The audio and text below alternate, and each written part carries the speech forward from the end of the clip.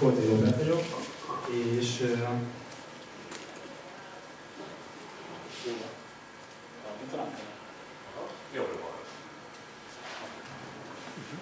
Sziasztok, Kolti Robert vagyok, és egy resource management toolról szeretnék beszélni, amit most fejlesztünk. Hogyha nagy, nagyon gyorsan és röviden össze szeretnék foglalni, akkor annyit mondanék, hogy ismerjük azt a képet, a matematikai példákban általános iskolában szokott szerepelni, hogy bedobunk még géppel valamit, és kiesik belőle 2, 3, 4 dolog. Na ezek a resource-ok. Bedobunk a tetején egy resource és hogyha multiplatform projektünk van, akkor kiesik belőle mondjuk a, a 3-4 vagy a 3-4 platformunkon egy-egy resource típus. Nem tudom, ez így érthető akkor uh, először uh, elmondanám, hogy hol tartunk most a projekttel. Uh, tudunk tímeket és projekteket kezelni. Hogyha mondjuk beregisztrálunk a, a Espresso-ra, akkor tudunk létrehozni egy tímet és projekteket alá létrehozni, ezek alá pedig usereket felvenni. Ez nagyjából úgy néz ki, mint a, a Slack-nél a team és a, a channel felépítés. Jelenleg öt lokalizált, vagy öt resource támogatunk. Ezek a lokalizációk, képek, apikonok, fontok és színek. És azért ezek, mert a mobil teamnél jelentkezett ez a, a probléma először, ahol iOS és Android projekteken dolgozunk, más szóval minden egyes projektünket legalább két platformra meg kell valósítani. Amit még figyelembe vettünk a fejezés során, hogy nagyon könnyen beépíthető legyen már meglévő projektekben. Hogy miért is csináltuk? Hogy csökkentsük a, a fejlesztőknél a demotiváló feladatok mennyiségét és a fejlesztési időt. Mire gondolok itt?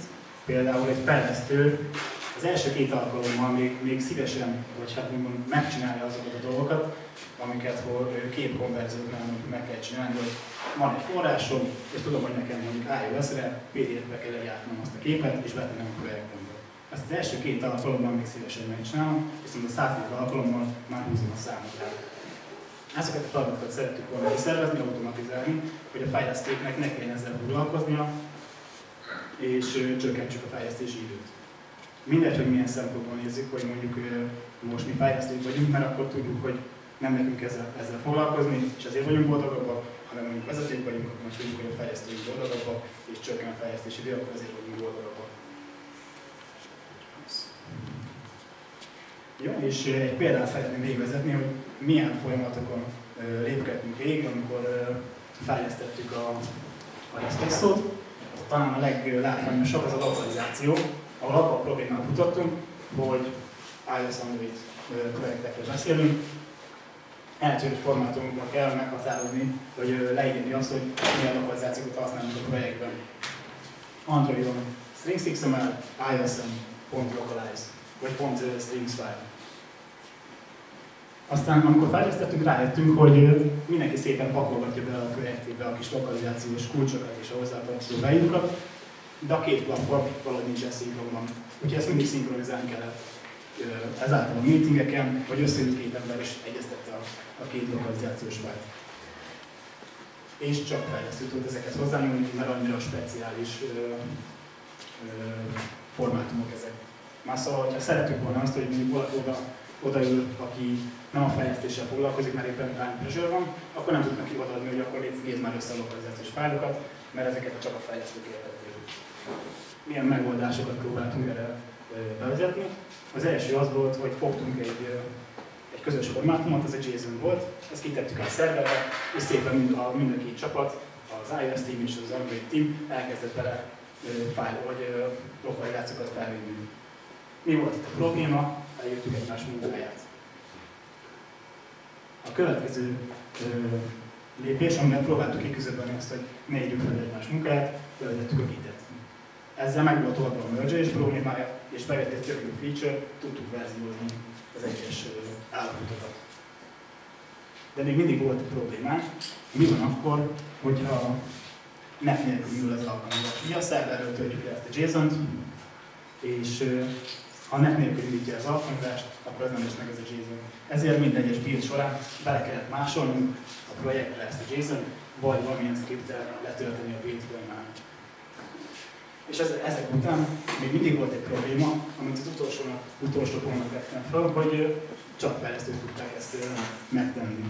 Elhoztuk egy a Espresso, ahol egy olyan mutatunk a, a, a teameknek, ami egy, egy általános form, már szóval bárki, egy fordító is fel tudja minden lokalizációs kulcs, kulcsértékpárokat, bármilyen nyelven, fejlesztői beavatkozás nélkül. Majd ez szépen beintegrálódik a, a fejlesztői kliensekbe, projektekbe, natív support támogatás más szóval a, a platform specifikus verzió fog belekerülni. Code completion tartunk hozzá, amit például ios nincsen, és a verziózás is támogatjuk olyan, mint a, a gites lehetőségben. Jó, itt tartunk most.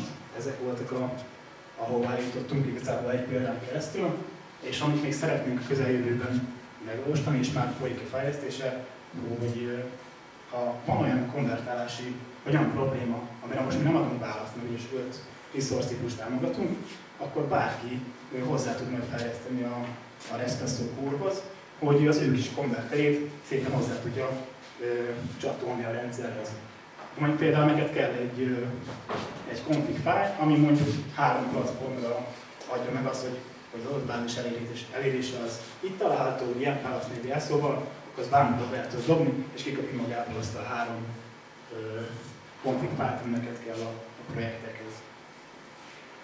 Ugye jelenleg csak mobil platformokat támogatunk, de dolgozunk a webes content projekteken is. Itt adottam alulra egy linket, ahol a, ezt még ki fog kerülni a, respresso.io-ra is, ez a landing page Ez egy szavazás, ahova szeretnénk azokat a, az ötleteket, vagy azokat az ötleteket várjuk, amiket uh, szívesen látnátok a Respresso-ban.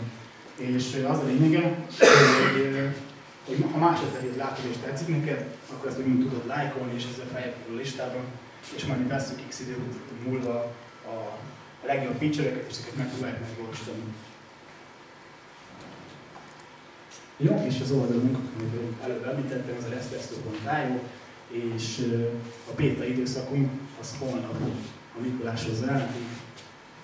December 6-án délkedni szerintem már elérhető lesz, és mindenki ki tudja próbálni. Nagyjából ennyi szerettem volna.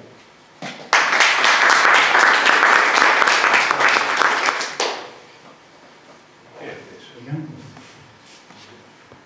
Most praktikusan hogy néz ki egy fordító, az ide ír bele, és aztán mi történik? Hitet kell a fordítónak használni? Nem, úgy néz ki, hogy Fordító, hogy embereket. ja, például egy fordítóirodában bárki, aki, aki látja a magyar szöveget, és mindegy le kell fordítani spanyolra. Akkor ő szépen megnézi a magyar szöveget, átfordít spanyolra, és rájön a szép gombra, és nekünk utána fejlesztettük, amit kell mondanunk, hogy update is belekerült a projektünkbe, és és benne is van az új lokalizáció. Miben, miben nyom bele? Tehát ez egy text file-ba kerül bele, és bármi Nem, nem, nem. praktikusan mit használ, vagy a ti interfésziteken történik? Igen, igen, igen, létrehoztunk egy, egy user interface ami nagyjából egy, egy egyszerű regisztrációs form szerű felépítés. Nem lehet, hogy ezt egyszerűbb lenne workflow-kat, hogy ilyeneket, mondjuk, mert használunk ilyet, tehát hogy ha lehet szavazni, hogy mit kéne belerakni, nem egyszerű mondjuk egy Google uh, Suite-es interfészt használni, ahol amúgy is van verziókezelés, meg támogatja egy csomó munkafolyamatot, amiben egyszerűbb fel, egyszerűbb a csapat támogatás, mint a tiédeket használni. Tehát mondjuk látszik a mellette lévő, nem tudom mi, hogy változott annak az értéke, tehát össze lehet tenni olyan dolgokat Google Sheet-en, amit gondolom sokkal ad az ilyenekkel. Igen, de még akkor mindig nem hogy ez be integrálva a projektbe, hanem a Google Sheet-ben. Mi is így, csináljuk valóban, mostanáig így csináltuk, hogy csináltunk egy sheetet, abban szépen beleírt a fordító, aztán ezt nekünk valahogy bele kellett konvertálni a projektbe. Ami, hogyha verziókat nézünk, akkor az minden egyes verziónál egy újabb, újabb művelet, újabb konvertálás, ahol hibáztat a, fordító formailag, mert az mindig előfordul, akkor nekünk erre fel kell készülni, ezeket debugolgatnunk kell, és úgy bővíteni az alkalmazást. Ahol a Espresso-val viszont elérjük azt, hogy ő feltölti, és a rendszeren nem tud áthúzni hibával a, a, a lokalizáció, hanem belekerül a projektbe, és fejlesztői beavatkozás nélkül ki tud egy új verziót. Arra kérjük a fordítót, írt be légy ebbe a formba a spanyol megfelelő mondjuk ennek a lokalizációnak, akkor megteszi, rám, rámegy a szép gombra, mi a Continuous Integration szervünk, nyomunk egy gombot, és az ez ki is került az alkalmazás, csak benne van a spanyol fordítás. Ez, ez most egy self-hosted megoldás, vagy mindenképpen rátok kell hagyatkozni, hogy a ti szervereteken ez csak, hogy ez... Igen, jelenleg a, csak a mi szerverünkön fut, de gondolkozunk self-hosted megoldásban is. Ez ilyen egyedi. Nem, nem open source, ugye? Jelenleg, hát nem open source, de jelenleg mindenki így kipróbálhatja. A jövőről nem szeretnénk beszélni, és hát nem tudok még beszélni. Ja, azt szeretném kérdezni, hogy megfontoltátok-e esetleg népszerű elterjedt más formátumok használatát, mint például a GNU Gettex keretrendszer és a PO fájlok, illetve az ezekre épülő webes, szintén nyílt forrású, ingyenesen elérhető fejleszt, fordítói felületek használatát. Bevizsgáltam már többféle ilyen megoldást, jelenleg nem, nincs ebben a de hogy ezeket használni a rendszeretek helyett. Tehát, hogy PO fájlá konvertálni a, az eltérő formátumokat, és akkor innentől kezdve, amit fölé építettetek, az kuka. Tehát, hogy erre már vannak kész megoldások. Igen, de, de nem támogatom annyi, annyi resource típust. És nem tudom pontosan mire gondolod, de szerintem nem támogatom annyi resource típust, amit már szóval igazából egy konkurencia, amit mondasz, uh-huh. hogy, mhm. hogy inkább használjuk őket. Lokalizáció. Csak a lokalizáció. Hát igen. Akkor én meg is kérdezem azt, hogy oké, okay, lokalizációt azt látjuk példában, de hogy ez működik, akkor képekkel? Igen, igen. Ugye, amit elején mondtam, hogy hogy is támogatunk. Ugye a lokalizáció az, amit most végigvetettem, hogy lássátok, hogy hogy néz ki nagyjából egy ilyen folyamat. Ez képeknél úgy működik, hogy már mind a két platform, iOS és Android, ugye meg webes is, de most ezzel nem foglalkoztunk, támogatni vektoros képeket, úgyhogy ez nagyjából úgy néz ki, hogy a, a designerünk kimenti szépen a kis ikonokat SVG-be, feltölti a, a Espresso-ra, és utána nekünk egy komoly másod bekerül ios a PDF fájl a, a projektünkbe, Android pedig ugye a vektor blogba. És akkor ez nem kell fejlesztő... Igen, igen. Például egy valós példánál előfordult már, hogy le kellett cserélni az app nevét, az app ikonját és a színeit. Ezeket jelenleg azt mondjuk, annyit kéne csinálni, hogy bemegyünk, bejelentkezünk szépen a Nespresso-ba, lecseréljük az app ikonját, átírunk pár szöveget, lecseréljük a színkódokat, és nyomjuk a Continuous Integration szerven egy play gombot. Nagyjából erre építettünk, hogy fejlesztői beavatkozás nélkül tudunk ilyet kitenni új ízeket, és ne a fejlesztő feladata legyen az, hogy átkonvertáljon egy képet, vagy beletegye a nem tudom milyen spanyol szó helyett másik spanyol szót, és kikeresse az ezer, soros lokalizációs fájlot. Már szóval ezt tettük volna venni a, a fejlesztőkről ezt a, a terhet, mert egy fejlesztő sokkal hasznosabb dolgokkal is el tudja tölteni az idejét, mint a, lokalizációs fájl tudkálja. Utolsó Mi van, hogyha valamelyik kimenet épp hogy nem módi platform? Tehát például a szövegeknél mondjuk valamelyik funkció csak angolul vagy iOS-en érhető el, és akkor azt szeretném, hogy az a szöveg, az a platformon ne a automatikusan generál. Ezért van a verzió bevezetve. Bármikor mondhatjuk azt a klienseken, egy config fájlban, hogy én az ötös verziót szeretném, és az ötös verzió pedig nincsen benne a spanyol verzió, csak a angol német. Köszönjük szépen. Én is köszönöm.